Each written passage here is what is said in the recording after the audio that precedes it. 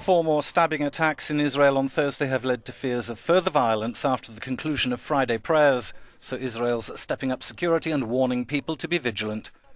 Two Palestinians were shot dead, one in Tel Aviv when he attacked a small group with a screwdriver, and another in Jerusalem.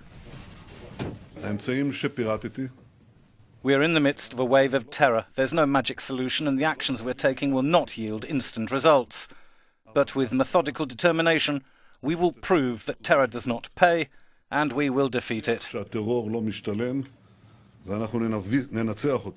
Palestinian President Mahmoud Abbas has appealed for people not to militarize protests, but clashes are erupting like wildfires in the West Bank too. Israel's erecting steel barriers and metal detectors around the most sensitive sites and increasing security details near the Al Aqsa Mosque. The Israeli police say that this metal detector is to check anyone they're suspicious of, despite the fact that in this street there's a military presence every couple of meters, and the whole street has 40 to 50 security cameras. This is the Israeli failure here.